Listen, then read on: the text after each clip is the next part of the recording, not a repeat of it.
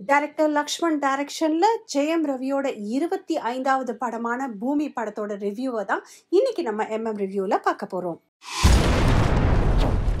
நாசாவில் வேலை பார்த்துட்டு வர ஹீரோ ஜெயம் ரவி பூமியை மாதிரி இருக்கிற இன்னொரு கிரகத்துக்கு போய் மனிதர்கள் வாழ முடியுமா அப்படிங்கிற ஒரு ரிசர்ச்சில் ஈடுபட்டு வராரு.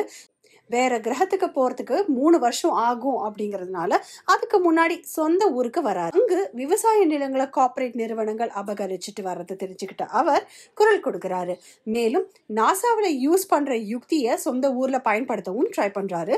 இதை தெரிஞ்சுக்கிட்ட நாசா ஊரை விட்டு வருமாறு ஒரு அழைப்பும் கொடுக்குறாங்க. நாசாவோட அழைப்பை ஏற்காத ஜெயம் ரவி உள்ளூர்லயும் கார்ப்பரேட் நிறுவனங்கள் இடையே பகையை ஏற்படுத்தி கொள்றாரு. இறுதியில ஜெயம் ரவி மீண்டும் நாசா போனாரா? கார்ப்பரேட் நிறுவனங்கள் இடையே சண்டை போட்டு விவசாய நிலங்களை மீட்டு கொடுத்தாரா? இதுதாங்க பூமி படத்தோட மீதி கதை. கதாநாயகனா நடிச்சிருக்கிற ஜெயம் ரவி படம் முழுவதும் உணர்ச்சிகரமா வராரு.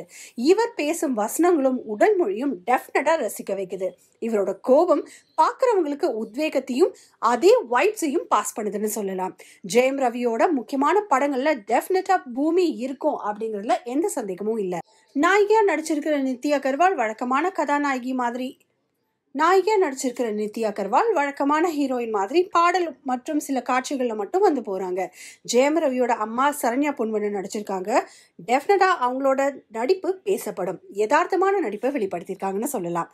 கலெக்டர் ஜான் விஜய் விவசாயி தம்பிராமையா அரசியல்வாதி ராதா ரவி இவங்க எல்லாருமே தங்களோட அனுபவ நடிப்பை வெளிப்படுத்தியிருக்காங்க.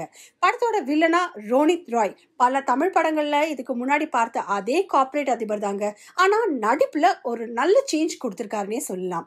விவசாயம் வேர்சஸ் கார்ப்பரேட் நிறுவனங்கள் அப்படின்னு கதையை உருவாக்கின டைரக்டர் லக்ஷ்மண் வறட்சியால் பாதிக்கப்பட்ட விவசாயி கடனால துன்பத்திற்குள்ளாகிற நிஜமான ஒரு ப்ராப்ளமை எடுத்து சொல்லியிருக்காரு.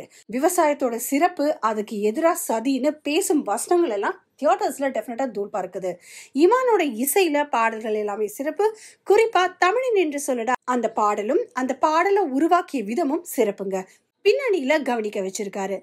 டட்லியோட ஒளிப்பதிவும் படத்துக்கு கூடுதல் பலமா அமைஞ்சிருக்கு. மொத்தத்தில் பூமி செழிப்பு.